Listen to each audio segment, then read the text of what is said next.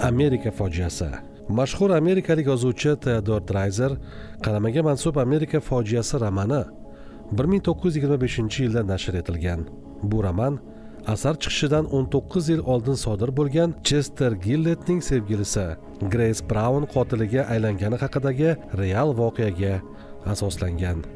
Mafkuraviy nuqtai nazardan amerika fojiasi 20 asr boshlarida amerika qo'shma shtatlarida nashr etilgan yengil yelpi mamlakat aholisiga mashhur amerikacha orzusini amalga oshirish usullarini ertakona qilib uqtirgan romanlarga badiiy javob edi. Bir yigit badavlat oiladan bo'lgan qiz bilan sevishib unga uylanadi va jamiyatda yuqori mavqeini egallaydi kabi oldi qochdi syujetlarga to'lib ketgan amerika ommaviy adabiyotiga drayzer realizm janridagi romani orqali zarba berib u syujetlar oddiy amerika voqealariga nomuvofiqligini ushbu asari bilan ochib bergan edi. E'tibor bersangiz hozir o'sha oldi qochdi bachkana syujetlar bizning zamonaviy adabiyot va ayniqsa kinoda o'z aksini topmoqda. Syujet. Kanzas siti yozning issiq oqshomi. Ota ona va to'rt bola ko'chalarda diniy qo'shiqlar kuylaydi va odamlarga diniy mazmundagi risolalarni tarqatadi. Katta yoshdagi bola klayd u majburan bajarayotgan bu ishlarni yoqtirmaydi ammo ota onasi astoydil harakat qilishar ularni xayolida bu ularga faqat ma'naviy qoniqish olib kelardi. Bu oiladagi ota ays griffits juda lapashang edi. Oilasi esa zo'rg'a kun ko'rar edi. Yosh klayd griffits bu zerikarli kichkina dunyodan qochishga intiladi. U dorixonada sotuvchining yordamchisi bo'lib keyin esa grin davidson mehmonxonasida xabarchi sifatida ishlaydi. Mehmonxonada ishlash hech qanday maxsus ko'nikmalarni talab qilmaydigan ammo yaxshigina choychaqa olib keladigan ish edi. Bu esa klaydga oilaviy byudjetga hissa qo'shibgina qolmay o'zi uchun yaxshi kiyimlar sotib olishga ya'ni o'zi uchun ham pul jamg'arishga imkon beradi. Hamkasblari klaydni yaxshi qabul qiladi. U uchun quvnoq hayot boshlanadi. Tez orada klayd gartenziya briks ismli chiroyli sotuvchi ayol bilan tanishadi.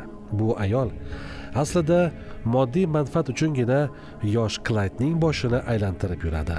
Gartenziya bir yuz o'n besh dollar turadigan urfga kirgan ko'ylak kiyishni xohlaydi. Klayd uning xohishiga qarshi turishi juda qiyin edi. Biroq keyin klaydning ko'zi pas daryosidagi fojia haqida yozilgan gazetaga tushib qoladi. Unda yozilishicha bir erkak va bir ayol daryoda sayr qilish uchun ijaraga qayiq olgan lekin ertasi kuni qayiq ag'darilgan holda topilgan. Undan ayolning jasadini topishgan erkakni topishning iloji bo'lmagan. Bu voqea unda juda katta taassurot qoldiradi. Ayniqsa ota onasinikiga ketgan robertadan boshqa kutishni xohlamasligi va likurtga qaytib hamma narsani samuel griffitsga aytib berish haqida xat olgach klayd vaqti oz qolganligini va tezroq qandaydir qaror qabul qilishi kerakligini tushunadi. Klayd robertani ko'lga sayohatga taklif qiladi va unga uylanishga va'da beradi.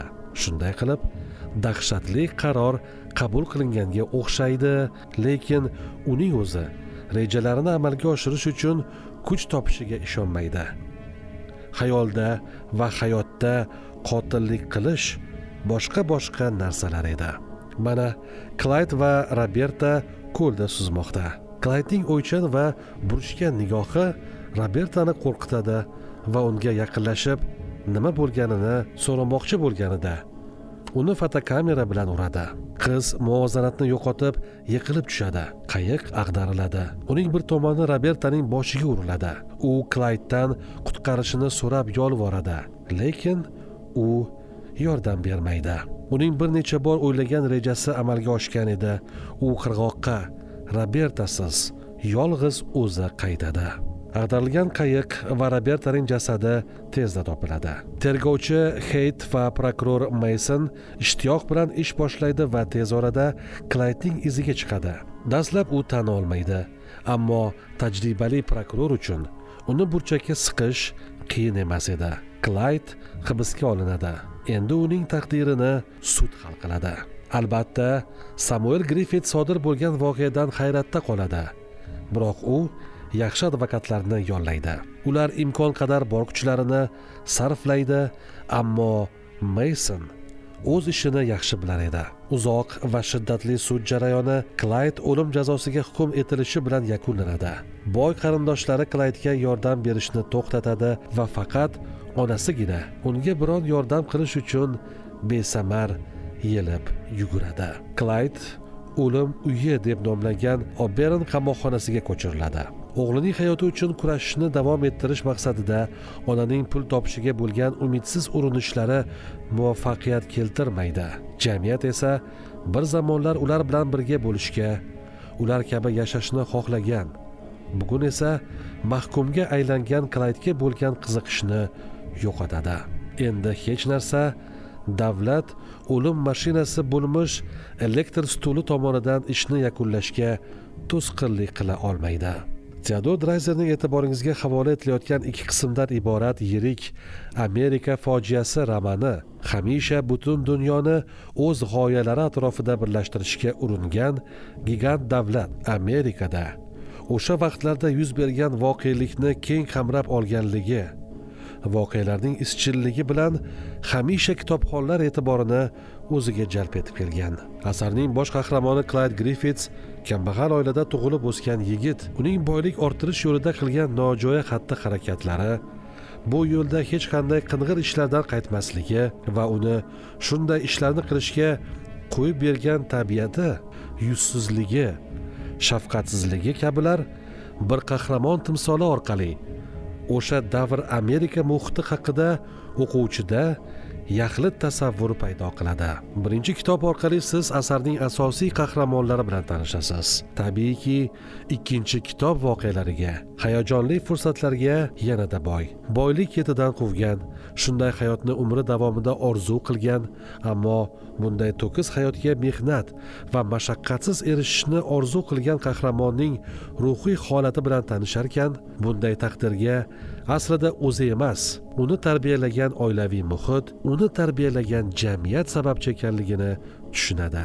Klayd griffitsning elektr kursida qatl etilishi uning taqdiri bilan qanchalik bog'liqligi sevgi muhabbat rishtasining bunday shafqatsiz xat ta'sirida hech qanday ahamiyat kasb etmasligi insoniy tuyg'ular o'rnini egallagan qabohat o'quvchi qalbini larzaga soladi.